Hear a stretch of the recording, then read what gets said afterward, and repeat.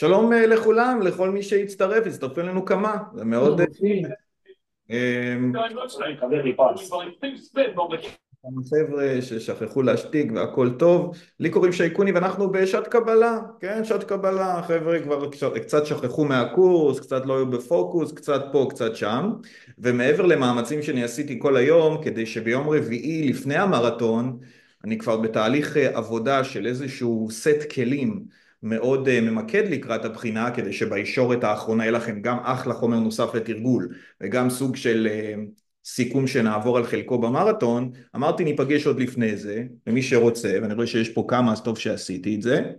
uh, ואתם תעדכנו אותי זאת אומרת זה יהיה משהו בכיוון של לפי הצרכים שלכם. אה, שאלות כלליות לגבי איך לומדים, מה לומדים, איזה סגנונות, איפה יש חומרים, איפה המבחנים באתר, לא התמצאתי בהקלטות, כל דבר רלוונטי שיש לגביו חשש, זה לא מחליף בשום צורה את מה שאנחנו נעשה במרתון, אבל למי שהיה פחות בפוקוס, הלך לאיבוד, סילה, לא סילה, עניינים, וגם באופן כללי.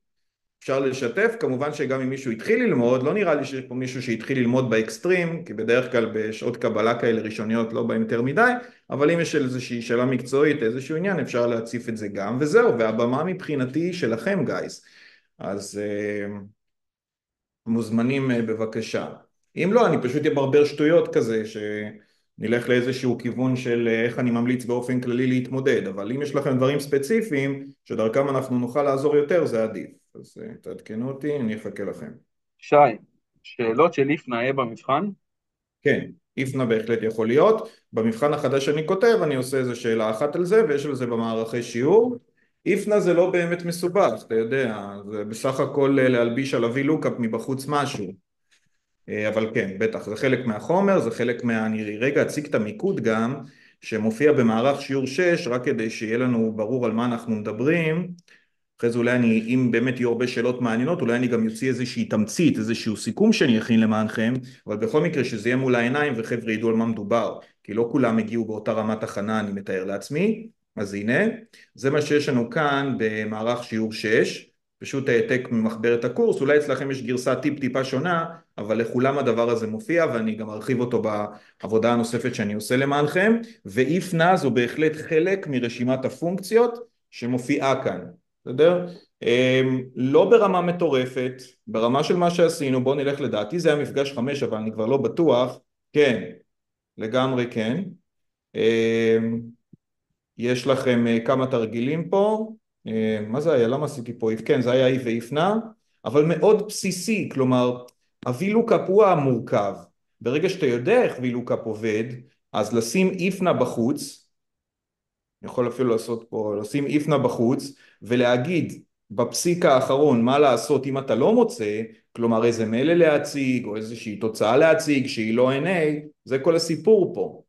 אין פה באמת משהו אמיתי. עכשיו אני אעשה עוד דבר אחד קטן כדי טיפה להסביר את זה יותר אם זה לא מפריע לכם, ממש בקטנה, אפילו לא באקסל כי אנחנו כבר, רוב העבודה שלי אגב אתם תראו גם במרתון אני כבר לא עובד באקסל כי הסיבה היא שבמבחן עצמו עובדים רק ידנית. אז אני ארצה לעבוד ידנית גם כדי לדמות יותר את צילומי המסך וכן הלאה.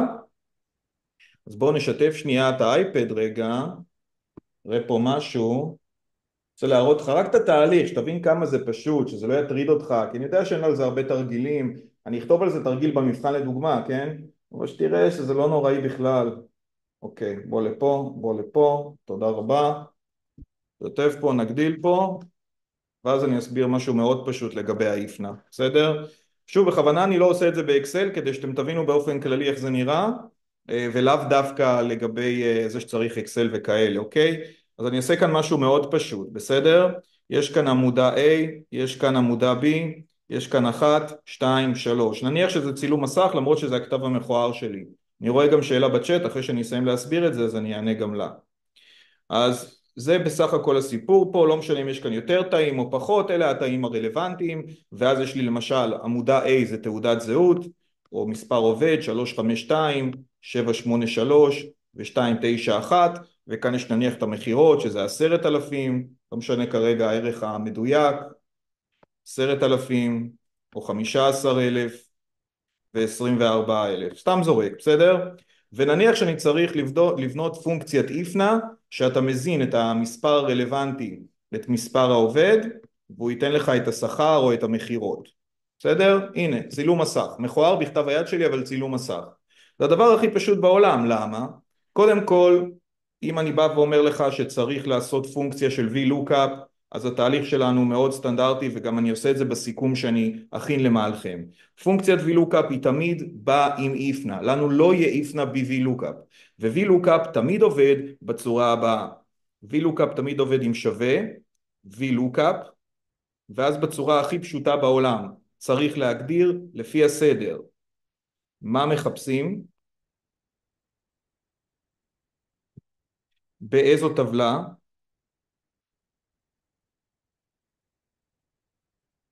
את עמודת היעד מאיפה אני מוציא ערך?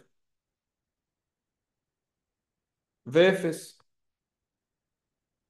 אז נניח למשל שאני צריך למצוא ערך של מספר אה, עובד שנמצא בתא A5 פה זה A5 אני מקווה שרואים הכתב המכוער שלי אז אנחנו פשוט נגיד יהיה לנו כאן שווה VLOOKUP מה אני מחפש? לאט לאט אני מחפש את A5 אני בכוונה עושה את זה ידנית מספר העובד שיוזן פה ואני מחפש אותו בטבלה מה זה הטבלה? כל זה מה זה כל זה? מ-A1 עד B3 יופי ואז מה? מאיזה עמודה אתה רוצה להחזיר ערך? אם אתה רוצה להחזיר את השכר, אתה רוצה להחזיר ערך מהעמודה השנייה. כי המספר העובד זו העמודה הראשונה, שכר זו עמודה שנייה, ואפס להתאמה מדויקת, תמיד אנחנו עושים, זה סטנדרטי. זה וילוקה ועשינו את זה. עכשיו, אם אתה רוצה להוסיף פה נע, הסיפור הוא מאוד פשוט. אתה לוקח לגמרי את מה שעשית פה, בדיוק אותו דבר, אתה אשכרה יכול, וזה כאילו הקטע פה, אתה אשכרה יכול לעשות copy paste של הדבר הזה מרוב שזה אותו דבר. בוא נראה אם הוא ייתן לי, כי אני לא מהדור שלכם, אני גרוע באייפדים, אבל אתה לוקח ממש את הדבר היפה הזה, את זה. יופי. ו... נעשה duplicate. איך אתה מלביש עליו, אני אעשה את זה בצבע אחר, איך אתה מלביש עליו את ה IFNA, כל מה שאתה צריך לעשות עכשיו זה, הופ, הופ, קח אותך לפה, הכי פשוט בעולם, אתה כותב שווה איפנה בחוץ, פותח את הסוגריים אחי, מכניס את ה-VLOOKUP כאילו הוא VLOOKUP רגיל. ואחרי כל ה-VLOOKUP שאתה כותב לפי הכללים הרגילים אתה שם פסיק נוסף ואז אתה צריך לתאר או להפנות מה להציג אם לא מצאתי ואת זה אפשר לעשות או באמצעות הפנייה או אשכרה לרשום אפילו בטקסט לא מצאתי, תלוי במקרה, בסדר? זה כל הסיפור פה. אתה עושה VLOOKUP, אתה מלביש איפנה לפניו, אתה מלביש מה לעשות אחריו, אם לא מוצאים, נגמר. כיף. כלומר זה נראה מתוחכם כי זה כאילו הרבה ביטויים וכאלה אבל אם אתה לומד חזק את וילוקאפ ואתה חייב ללמוד חזק את וילוקאפ האיפנה הוא חרטא. הבנתי. מקווה שעניתי. אה, האם פקודת איפנה הייתה בסילה? מיטב זיכרוני כן. מיטב זיכרוני כן. אה, אז זה לגבי הדבר היפה הזה ביחידה של הווילוקה בעצם יש את זה עוד אה, שאלות אה, ברמה מקצועית או מנהלית, אתם יודעים, זה פתוח לגמרי הדיון שלנו היום. שזה משהו מעניין? בוא נראה אם יש כאן איזה משהו מעניין, אולי משהו שעלה באופן כללי מסטודנטים שאני יכול אה, להבהיר אותו. לא, אין איזשהו משהו מיוחד, אני לא רואה כאן איזושהי פנייה שהיא מאוד מיוחדת. אמ, טוב, אז אה, הלאה. הדבר המרכזי שהייתי אומר, כאילו, תפריעו לי חופשי ותרשמו לי, אה, רוצים שנפתור את המבחן? רוצים שנפתור את המבחן? נעשה לו ככה, נעשה לו לייק, נעשה לו נקניקייה. יש לי נקניקייה פה?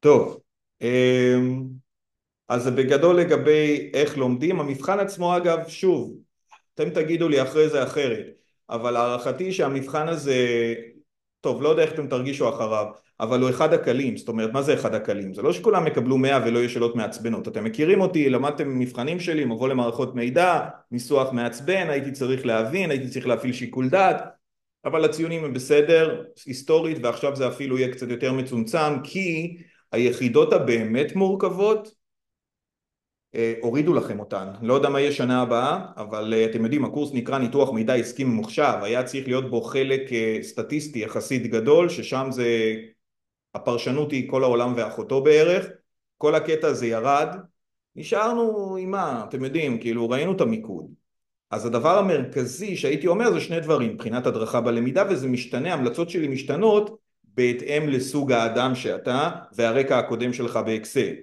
אם יש לך רקע באקסל או שאתה תופס דברים מהר וכאלה ההמלצה החמה היא דווקא להתחיל מהנושאים המשעממים. ומה זה משעמם? ההגדרות. מה זה תא, מה זה שורה, הכל כתוב במיקוד ואני עוד ארחיב אותו, אבל מה זה תא, מה זה שורה, מה זה עמודה, מה זה מצב רדי, איך אני מרחיב עמודה, איך אני מרחיב שורה, איך אני מעצב, כל הדברים האלה שמופיעים אגב ביחידות הסילה הראשונות, לא זוכר כמה, אחת עד ארבע או משהו בכיוון הזה, הן יחידות שהן סופר פשוטות, אבל עדיין יש בהן הגדרות ודברים שצריך לדעת במבחן אמריקאי בלי חומר עזר. אז זה קודם כל. אם אתה לא, אם אתה חזק בנוסחאות, כאילו ממש תעזוב את הנוסחאות לסוף, הנוסחאות הן לדעתי יחסית פשוטות למי שיש לו איזשהו רקע או גם נגיעה, אוריינטציה טכנולוגית או גישה, ותתמקדו חזק מאוד בנושאים של ההגדרות, כי הנושאים של ההגדרות, מה לעשות, אני אדבר על זה כמובן גם במרתון, הם נושאים שיש להם משקל, וזה לא משנה אם זה משקל של 15% או 20% או וואטאבר, זה מאוד משמעותי וזה מסוג הדברים שאתה יודע או לא יודע. זה לא ככה להסיק מההיגיון, רגע, מה רוצים וטיטיטים, זה לא יצירתיות, בוא נגיד ככה. וזה בהתאם לא חלק גדול והוא חלק שאמור להיות קל אם אתה לומד אותו. אם אתה לא לומד אותו בבעיה, אז זה דבר ראשון. לגבי החלק שהוא יותר נוסחתי, אז שם הייתי ממליץ, וזה תלוי גם בכיוון שלכם, ללכת על, אה, ראיתי גם שאלה בצ'אט, ללכת על הפרדה בין סוגי הפונקציות. למה אני מתכוון? בואו נלך רגע לפה. יש לכם בפונקציות האלה, ואני שוב ארחיב עליהן גם במיקוד הנוסף שאני כותב לכם, אני מכין לכם משהו מאוד יפה ליום רביעי, אבל uh, בגדול יש כאן הבדל בין uh, הפונקציות הראשונות לבין חמש הפונקציות האחרונות. למה? כי ארבע הפונקציות הראשונות הן מאוד פשוטות. ומי שמרגיש שהוא אה, לא יכול ללמוד את כל הפונקציות האלה וזה חופר וזה מעייף וכן הלאה אז לגמרי אפשר להתחיל מהפונקציות הראשונות ואתם תראו כשתתחילו ליישם אותם כמה זה פשוט פונקציה שרק סוכמת, מזין נתונים עם מבצעת סיכום, פונקציה שרק מבצעת ממוצע וכן הלאה וכן הלאה ואין יותר מדי מה גם לדעת עליה חוץ ממה שהיא עושה. לגבי הפונקציות בסוף, חמש האחרונות, אז זה לא שהן מאוד מתוחכמות, אבל בגלל שיש להן מבנה שכולל כמה חלקים, אז צריכים להיות יותר זהירים לגביהם. ומה זה אומר זהירים? זה אומר שהמבנה של הפונקציה כולל כמה חלקים כמו שהראינו עכשיו ב VLOOKUP למשל. אתם חייבים לדעת ולזכור, וזו אחת גם הסיבות שמעבר לזה שזה מופיע במחברת, אני היום התחלתי כבר את התהליך של הסיכום עבורכם כדי שתהיה לכם טבלה עוד יותר מסודרת שתכלול את כל מה שאתם צריכים לדעת על כל פונקציה אבל COUNTIF צפונה אלו פונקציות מורכבות כי יש להם כמה רכיבים שהן מקבלות. וצריך לדעת איך הן עובדות ולפי איזה סדר הרכיבים וכן הלאה כי אתם לא באקסל אתם בצילום מסך ובהיגדים השונים ובנוסחאות השונות כמו שאולי ראיתם מי שהתחיל ללמוד אבל מי שלא עוד תראו חלק מהעניין זה לדעת מה מזינים קודם ומה מזינים אחר כך. מתי מזינים את התנאי ומתי את התוצאה. סדר הפעולות והכיוון שלו יהיה משמעותי בהקשר הזה אז צריך להיערך לזה גם.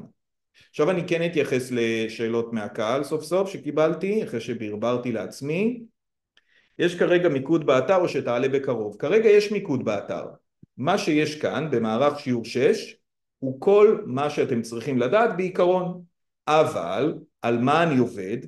אני עובד נול, זה נול מי שהתחבר, אני עובד על לקחת את המיקוד הזה ולפתוח אותו כך שרובו יהיה מובן גם למי שאין לו רקע.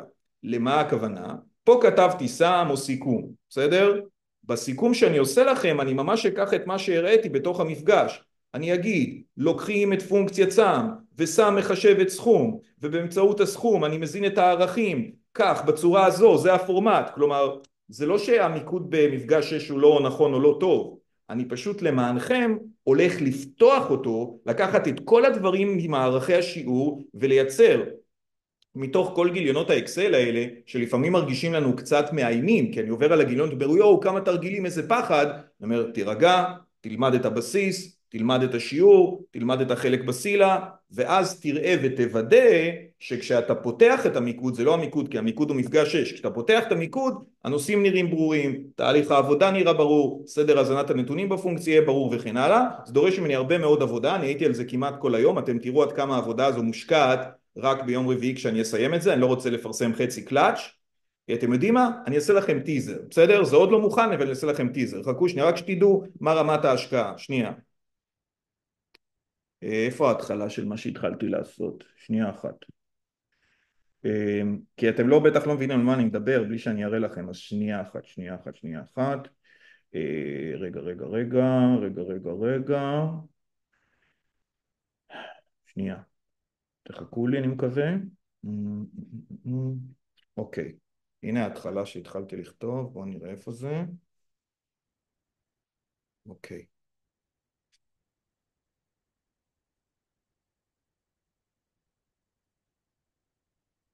הנה.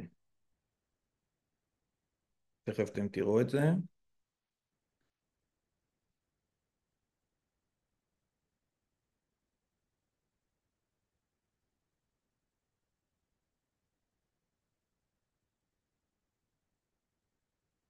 שנייה.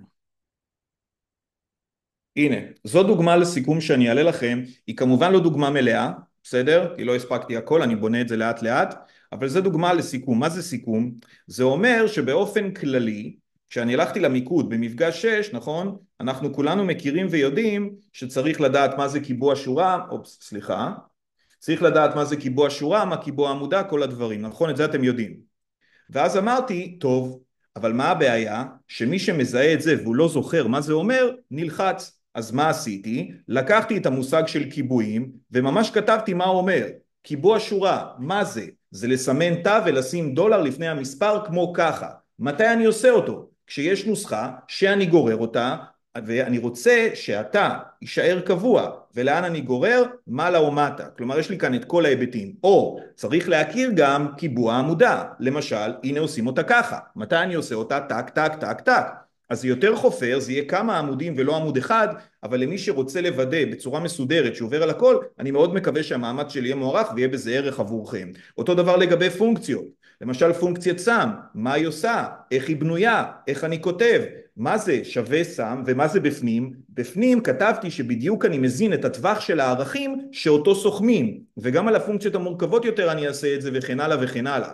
כלומר, ברגע שסיימתם אה, ללמוד, תוכלו להשתמש בסיכום הזה אחרי שאני ארחיב אותו לשתי מטרות. קודם כל, כשאתם מתרגלים ומשהו לא ברור, אפשר לפעמים לחזור לסיכום הזה ולראות ולקבל מושג בלי לחפור בשיעורים, בהרצאות, באקסלים ובסילות. דבר נוסף שאני מקווה שזה יעזור לכם, שאחרי שסיימתם ללמוד, תוכלו לעשות על זה ממש וי, וי, וי. אתה בא למשל לקיבועים, אתה אומר רגע, אני רוצה לדעת אם הבנתי מה זה קיבוע, אתה קורא את זה ואתה אומר אה כן אני מבין אני מבין את המשפט הזה אני מבין את זה אני מבין את זה אני יודע קיבועים בגדול כן תמיד יכול להיות איזו שאלה מתחכמת אבל ממש השתדלתי שזה יהיה מקיף ועד יום רביעי בערב הכל אה, יעלה זה יהיה לכם עוד לפני המרתון תוכלו להיעזר בזה במענה למרתון אם תרצו וכמובן אחר כך בתהליך הישורת המסכמת לבחינה אז זה שתדעו מבחינת הכיוון אה, יש כאן עוד שאלה כן, בבקשה במיון אני יכול למיין כאילו יותר ממשתנה אחד? גם שתי כן. משתנים, גם שלוש משתנים? כן. בטח. אמ, וכתבתי את זה פה למשל, מיון לפי משתנה אחד, לפי שני משתנים, אולי באמת אני אוסיף כאן הערה שאפשר גם שלושה בעיקרון, אבל כן. להכיר את התפריטים, להכיר איך נראה הסמל של המיון, ממש עשיתי כאן אה, דברים משוגעים ואתה עוד תראה את זה כשאתה תראה את המלא, בכלל אתה... זה גם של ההתחלה, של הסילות הראשונות כאילו, או שפחות? הכל, הכל אני עושה שם, הכל. אז כאילו, אז מה עדיף, עדיף ללמוד מהסיכום שלך ולא מהסילה. אם אתה מצליח להבין אותו, אתה מבין? כי הסיכום כן, שלי, כאילו... מפחיד מי שלא למד, אתה מבין את הכוונה שלי אחי? אתה מראה את הדבר הזה למישהו, אומר מה אתה רוצה, מה נוסחה, מה זה נוסחה בכלל? לא, אין בעיה, כאילו אם אני כאילו עדיין בזה, אז כאילו אתה עושה גם את ההתחלה של הסילות הראשונות, כאילו מהי עמודה, מהי נכון. שורה, איך עושים? נכון, הכל. נגיד בשאלה, שאלת במבחן, אני צריך לדעת, כאילו, נגיד אם אני זז באקסל עם המקשים, או שאת ה... כן, וה- והכל אני אשים לך שם, והכל אני אשים לך בסיכום אבל. לא, זה יכול להיות שאלה כזאת, כאילו, איך אתה זז. בימינה, שמאלה, כאילו? כן? כן. וגם את זה אני אדאג לשים בסיכום, אבל כן. תודה. אה, יופי. עכשיו אה, עוד אה, שאלות לדוגמה, שאלות מבחן על יחידה שמונה. בן אדר שואל מתי אתה שולח את זה, אני מעריך שאני אסיים את זה עד מחר בערב, בסדר? מה זה ערב? לא יודע, בטח שמונה או משהו כזה, כאילו זה יהיה בערב שלפני היום של המרתון, נכון? אנחנו נפגשים במרתון בחמישי נדמה לי, אז יום לפני בערב זה יהיה. גם זה וגם יום בערב לפני אני מעלה את מאגר השאלות הנוסף, אני עובד עליו כי זה לייצר ולעשות ולערוך אה, שיכלול מעל עשרים שאלות, לא יודע כמה אני אספיק, אבל מעל עשרים שאלות אה, ממוקדות לסמסטר הזה. ואז במרתון התוכנית שלי זה בעצם אה, לעבור בקטנה על הסיכום, להראות לכם איך משתמשים בו, מי שיהיה לו קשה, לחלק כבר יהיה קל ולפתור את המבחן או את המאגר הגדול של מעל עשרים שאלות שאני אכין לכם אקסטרה, בסדר? שאלות לגבי מה שיש כבר באתר, אני לא רוצה לדון בהם במרתון, חבל על הזמן, אתם יכולים לשאול אותי תמיד בזה, בפנייה. יש אופציה להעלות את זה מחר אולי לקראת הצהריים, שנוכל להדפיס את זה? אני אראה אם אני אספיק, אם כן אני אעשה את זה. כי בערב פשוט אין לי דרך להדפיס, אני מדפיסה את זה בעבודה. אז אני אשמח. אני אבדוק. תודה. אני אשתדל. אז זה לגבי זה. מה עוד, מה עוד רציתי לעשות? כן, אתה שאלת מה לגבי, או את שאלת, מה לגבי יחידה שמונה. עכשיו לגבי יחידה שמונה אני לא שאלתי שאלות במבחנים, אולי איזה אחת אני אוסיף למבחן לדוגמה המאגר הגדול, והסיבה היא, בואו איתי, פיבוט לא בחומר, נכון. בואו נלך פה למיקוד. מה שאתה בספק, תלך כרגע למפגש 6 ותראה, אין פה פיבוט אחי, אין פה זה. עכשיו, לגבי בינה מלאכותית, אין כמעט שום דבר משמעותי, ולכל היותר יש שם שאלה אחת, כי כל מה שצריך להכיר זה באופן הכי כללי בעולם, אשכרה יכולה להיות שאלה אמריקאית, במה צ'אט GPT יכול לעזור? א', הוא פותר לך את כל הבעיות בעולם, ב', הוא יכול לייצר הסברים לגבי פונקציות, ג', זה, ד', ב' וג' נכונות, אבל זה, אלה הדברים. כי אתם תחשבו על זה, צ'אט GPT זה לא משהו שאתה יכול לעשות עליו צילום מסך, נכון? לדעתי, אתה יכול לכתוב כאן משהו, אבל זה יהיה חסר משמעות, זה לא כמו אקסל. אז אני רק, אנו רק, יכולים לשאול על הכלים בצורה מאוד מאוד כללית, של מה התועלות, שאם אני שואל אותך מה אפשר לעשות בהתאם לנלמד עם צ'אט GPT אתה תגיד שמע שי אם יש פונקציה ואתם תראו את זה במפגש הרלוונטי מי שילך למפגש 6 לדעתי דיברתי על זה ממש בקטנה אתם יכולים להריץ אותי במהירות כפול 2 להעיף את זה באמת חבל על הזמן שלכם. ולכן אני גם לא עושה על זה שאלות כי יש כל כך הרבה דברים מתוחכמים בנושאים האחרים שלדעת שצ'אט GPT יודע להסביר פונקציות לדעת שאתה יכול לבקש ממנו להחזיר לך נתונים והוא יבנה לך אותם לא יודע. זה לא אין בזה שום עומק חבל על הזמן, אני יודע שזה מטריד אתכם כי אתם חושבים שאני אעשה לכם כזה בהפוך על הפוך ויתקע לכם עשר שאלות על צ'אט GPT אבל זה לא אז מהסיבה הזו אני לא עושה שאלות על, על הצ'אט מה עוד? כן, יכולה לשאול שאלה בבקשה? כן ביחידה הראשונה יחסית של הפונקציות הסברת שנגיד בחיפוש של מע"מ אז עושים את המחיר לפני מע"מ כפול אחד פלוס השיעור מע"מ עצמו. כן. עכשיו היה שם עוד אופציות, אני כאילו לא, לא שמרתי את השאלה, אבל שעשית את המחיר לפני מע"מ כפול בלי האחד. בלי ה... זה לא היה מע"מ. מה זה היה? זה היה שאלה בסילה, נגיד איפה שאתה שם אחוזים בשאלות. תלוי מה אני רוצה, אם אני רוצה, אם אני רוצה רק את התוספת, נניח אומרים לי מה סכום המע"מ, בסדר? אפילו אם זה לא השאלה הזאת, אבל מה אומרים מה סכום המע"מ? אז זה אחוז כפול המחיר. אם רוצים את המחיר כולל מע"מ זה כפול אחת ועוד. אותו דבר לגבי מקרה ש... רגע, תגיד את זה עוד פעם, תגיד עוד פעם. היא פשוט רוצה לכתוב את זה. אין בעיה, אז בואי, במקום שיהיה לך קשה לעקוב אחריי, אני ארשום את זה גם בכתב היד המכוער שלי פה, תכף נראה. אני אשים את זה פה, הנה, טוב, תודה. זה פה רגע, לא, בדיוק בשביל זה נועדה שעת הקבלה, בדיוק בשביל שאלות כאלה, טוב שבאת, אני אומר, הופה, תכף תראו, מה שאני אומר זה ברמה המתמטית, בסדר? אני אומר דבר מאוד פשוט, אם יש לי עמודה A ועמודה B, כאן יש לי תאים, לא משנה, 1, 2, 3, כאן יש לי מחיר ללא מע"מ, בסדר? לא משנה, מספר כלשהו. ושיעור המע"מ נמצא פה למשל ב-C1 שהוא 17 אחוז. אז אני טוען, תלוי מה רוצים בעמודה B. אם עמודה B רוצה מחיר כולל מע"מ, אז מה שאני צריך לשים פה בתא הזה זה בעצם, הופה, שווה A1, שזה מחיר לפני מע"מ, כפול אחת ועוד שיעור המע"מ, שזה C דולר אחת מקובע. ואני יודע שרצית את זה גם במלל, אז אני ארשום את זה גם במלל, כאשר... אבל השאלה היא מתי אתה כאילו משתמש באח- באחד ומתי לא. מחיר סופי? כן, כולל מע"מ, כופלים את מחיר הבסיס באחת ועוד, שיעור המע"מ זה זה.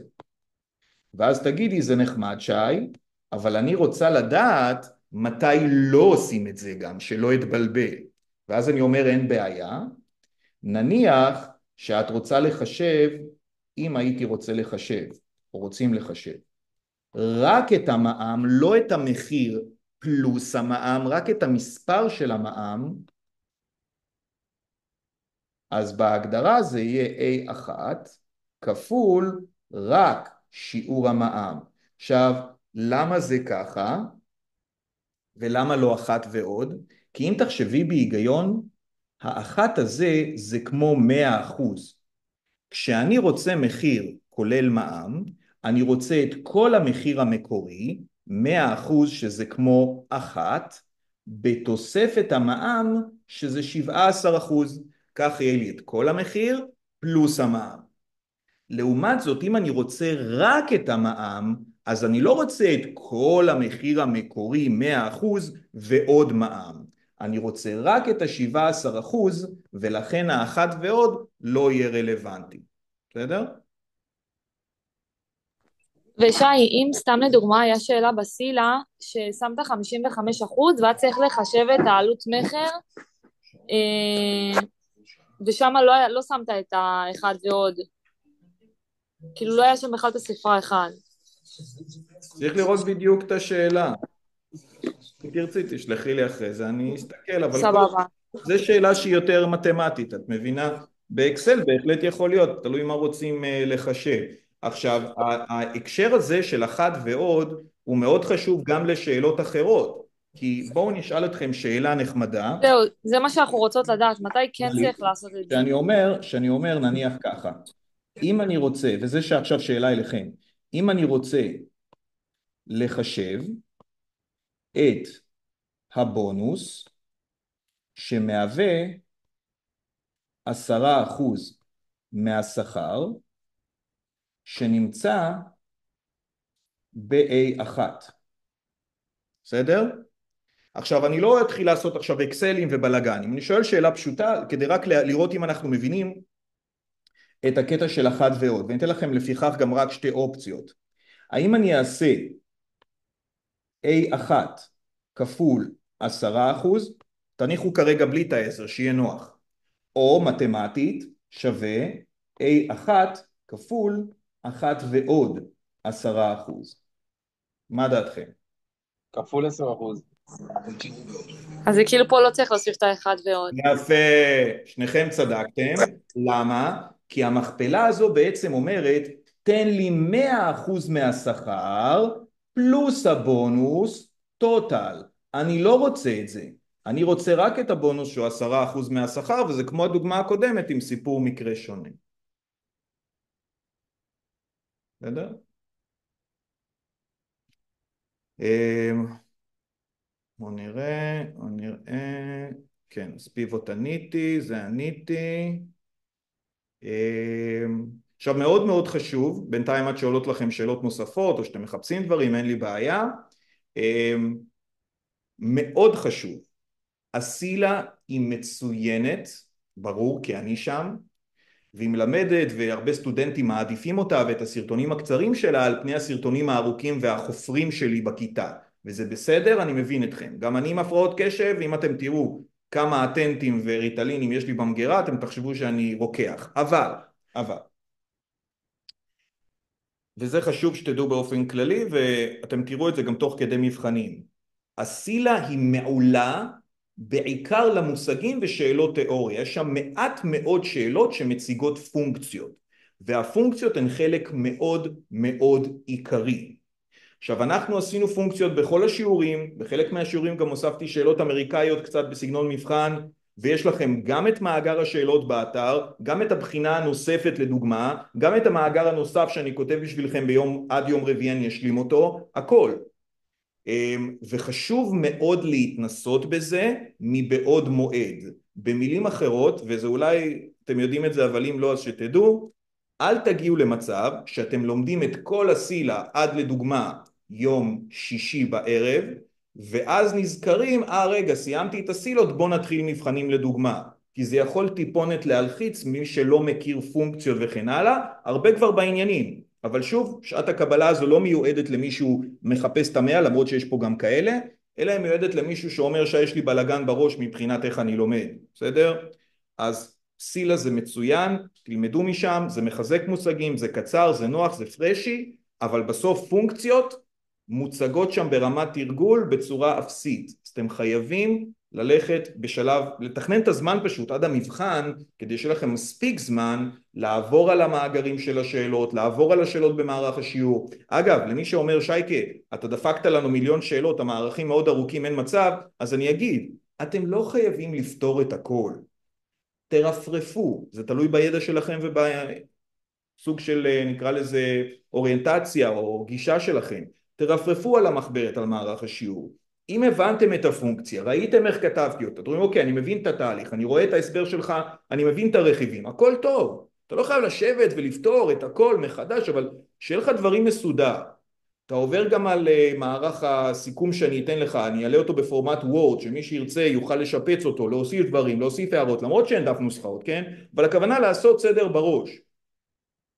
ואז לוודא שאני יודע פרפקט את כל הניסוחים ואת כל הטריקים ואת כל השטיקים, והשם יעזור. זה בגדול צריך להיות הכיוון, כן. שאלה חמש, במפגש חמש, יש שאלה כזאת במבחן, של וילוקאפ, עם השתי טבלאות. בואו נראה, כן, בטח שיכול להיות, בטח, בואו רק נציג את זה לכולם, לגמרי יכול להיות. אתה יכול קצת לחזור על זה כאילו? שאלה חמש, פה, פה. כן, בטח שיכול להיות. כן, שתי טבלאות. יש למעשה שני סוגים של שאלות אפשריות ב-VLOOKUP.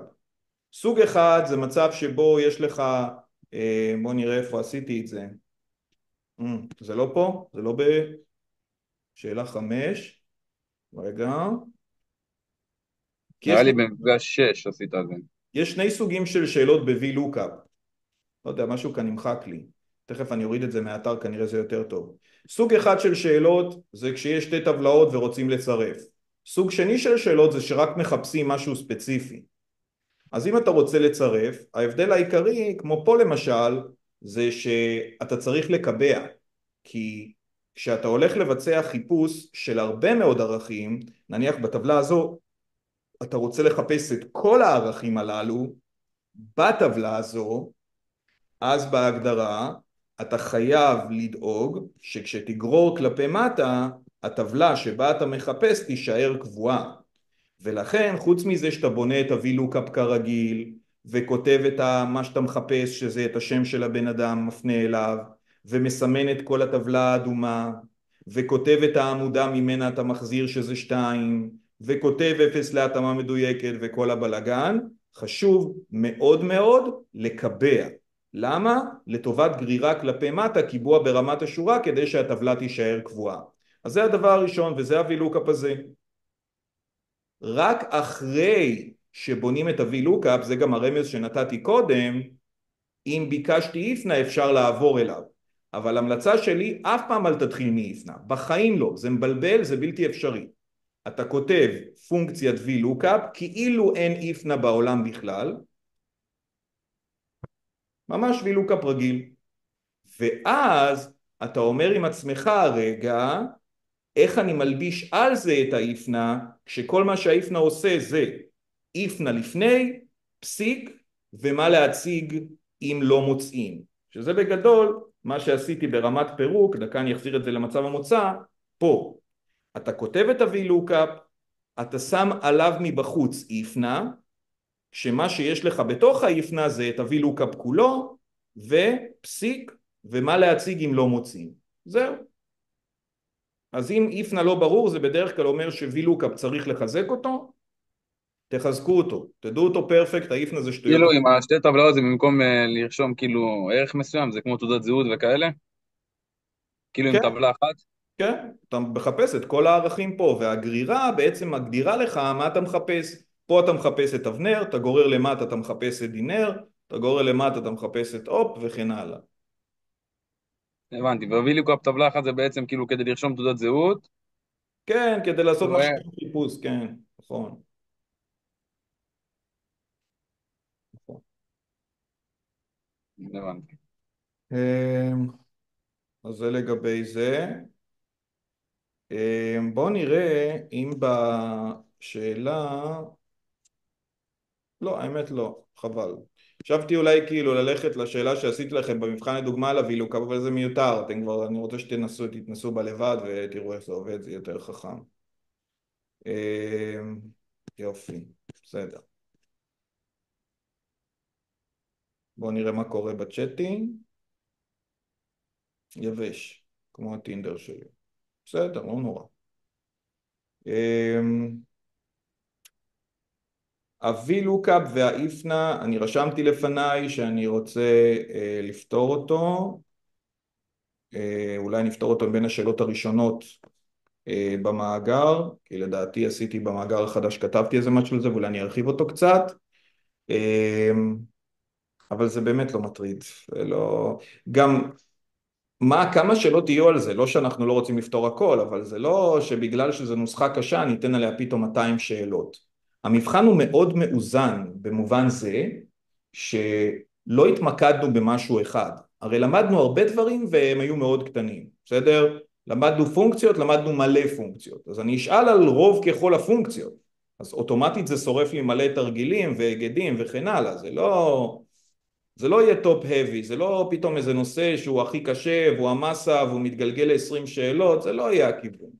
צריך לדעת את הרוב טוב ואת השאלות המורכבות שכל אחד ימצא לעצמו את הדרך להסביר לעצמו איך הוא מיישם את הנוסחה ואיך הוא זוכר את הסדר של אופן רישום הנתונים בתוך הפונקציה וממה להיזהר שזה יקרה גם אוטומטית עם התרגול לדעתי. בגדול. זה קצת מים.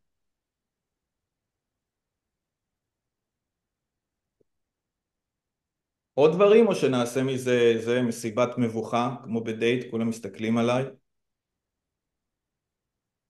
טוב אז אה, אם אין איזשהו משהו שלדעתכם יכול לעניין לפחות את כולם לפחות החלק המוקלט אנחנו אה, נעצור כאן אני מזכיר לכם למרות שאתם אנשים עובדים אמרתי אם מישהו רוצה לברוח מהעבודה יש לי גם מחר שעת קבלת טלפונים, אה, טלפונית אם תתחילו ללמוד ויהיו לכם שאלות אישיות שתרצו ללבן בעל פה בין 11 ל-12 כתבתי את המספר שלי באתר. שאלות אחרות תשלחו לי בבקשה כמו שאמרתי בפניות למרצה כי זה פשוט הרבה יותר נוח לי, בסדר? אתה שואל משהו, אני לא מול מחשב, אני לא יודע על מה מדובר, אני עונה תוך כדי או שאני שוכח לענות. אני בדרך כלל עונה די מהר בפניות למרצה, ואם לא אז תצעקו עליי. זהו, אז uh, אני אעצור את ההקלטה פה, אני לא אברח אם מישהו מאוד חשוב לו לומר משהו בצורה לא מוקלטת, אבל אני רוצה להודות במידה רבה לצופים בבית, במידה משמעותית לנוכחים באולפן אנחנו uh, נתעדכן בדברים טובים, ושיהיה לכם ערב שקט, ללא בלאגן תן בבלונים. תודה שי. שי, תודה.